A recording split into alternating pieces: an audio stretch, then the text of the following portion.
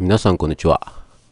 今日はですね、えー、このいろんな問題でよく出てくる核運動と平行運動が混ざっているとき、運動方程式をどうするかっていうような問題、これをちょっと、えーえー、お話しします。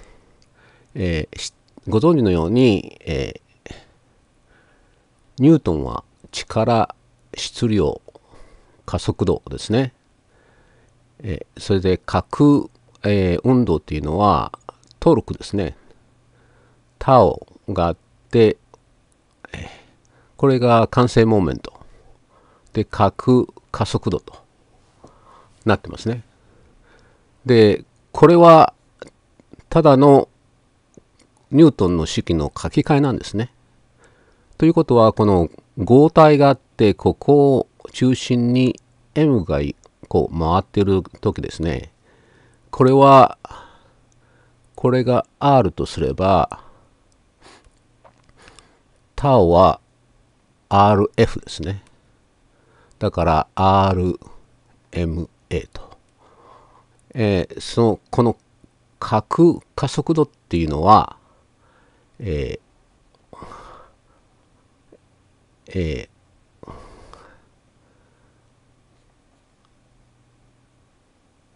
加速度っていうのは角加速度に R をかけたものだということになりますよね。ということは MR2 乗の α と。で、これは何かっていうと、これが、えー、完成モーメントと呼ばれるものですね。で、この質量がですね、分布しているとき、例えばですね、この滑車ですね。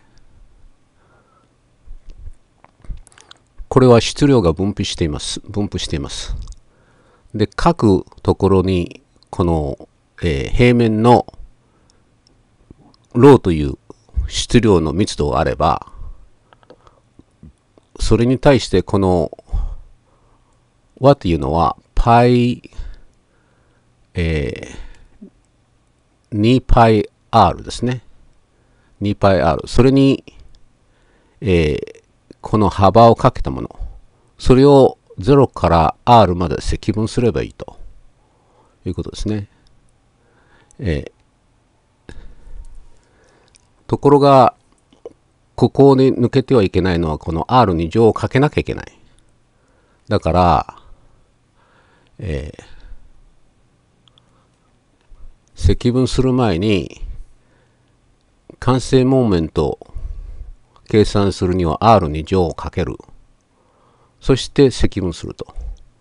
するとこれは、えー、4分の、えー、2分の1ローパイ R、え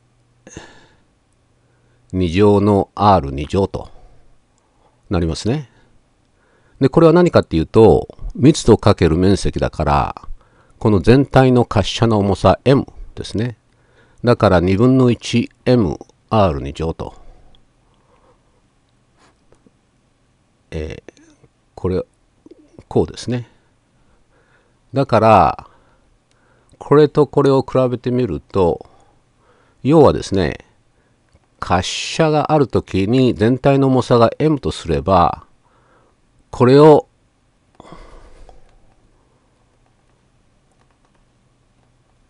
2分の 1m の質量があるとみなして並進運動に使えばいいということですね。これが等価の質量。 effective mass と言いますね。 effective mass ですね。えー、等価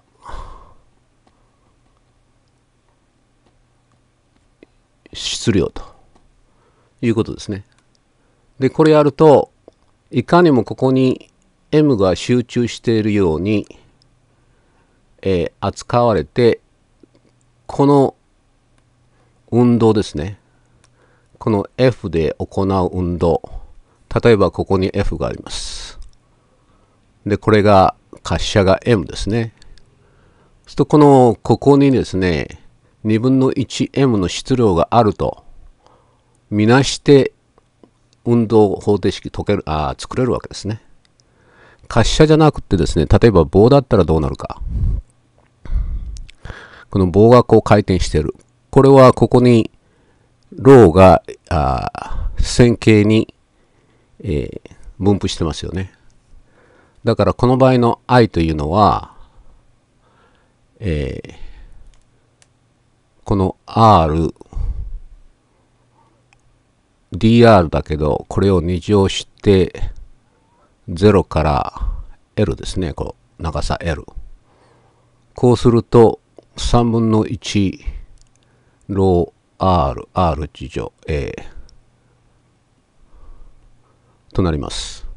で、ロー R っていうのは、この、この長さあたりの、えー、重さの密度ですから、えー、これが重さを m とすると3分の 1mr2 乗になるということでですね、この場合も例えば棒がこうあってですね、で、この回転をしていると。その時にこの回転運動と平行運動を一緒に考えるときですね、この棒が m とすれば、ここに